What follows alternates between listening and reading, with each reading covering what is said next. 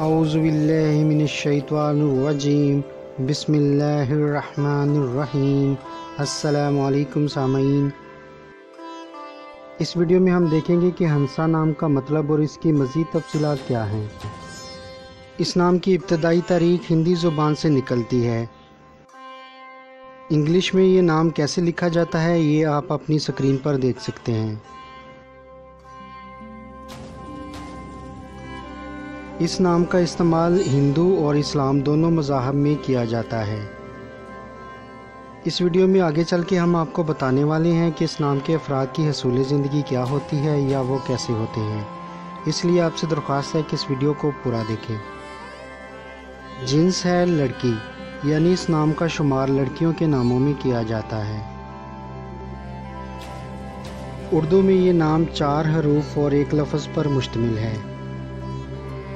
इस वीडियो में आगे चल के हम आपको बताएँगे कि इस नाम का ज़्यादातर इस्तेमाल कौन से तीन ममालिक में किया जाता है। इसलिए आपसे दरख्वास्त है कि इस वीडियो को एंड तक देखें।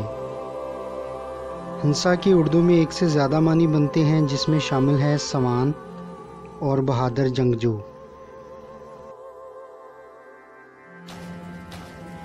इस नाम के अफराद के लिए खुशकिस्मत समझे जाने वाले रंगों में शामिल है सफ़ेद, गुलाबी और हल्का सब्ज़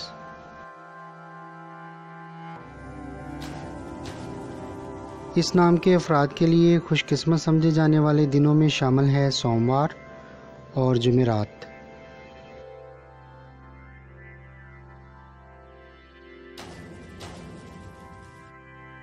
हिंसों के हिसाब से इस नाम के अफराद के लिए खुशकिस्मत समझा जाने वाला पत्थर है रूबी। आपसे दरख्वास्त है कि अगर आपको ये वीडियो पसंद आए तो इस वीडियो को लाइक ज़रूर कीजिएगा। हिंसों के हिसाब से इस नाम के अफराद के लिए मुआफ़ समझा जाने वाला दात है चांदी।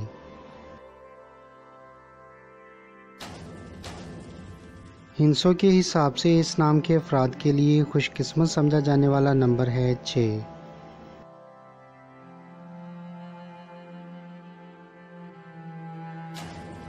हंसा नाम की तफसील है हंसा खान। हंसा खानम आपसे दरख्वास्त है कि अगर अभी तक आपने हमारा चैनल सब्सक्राइब नहीं किया तो हमारी हौसला अफजाई के लिए इसे सब्सक्राइब कर लें। इस नाम का ज़्यादातर इस्तेमाल जिन ममालिक में किया जाता है, उसमें सर फरिस्त है श्रीलंका नंबर दो पर है इंडिया, और नंबर तीन पर है पाकिस्तान। इस नाम के अफराद के बारे में ये समझा जाता है कि ये गहरी दोस्ती के ख्वाहिशमंद होते हैं और चाहते हैं कि हर बात का बार बार यकीन दिलाया जाए।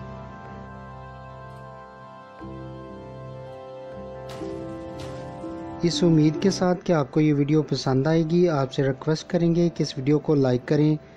अगर आप किसी और नाम के बारे में जानना चाहते हैं तो इस वीडियो के नीचे कमेंट करें।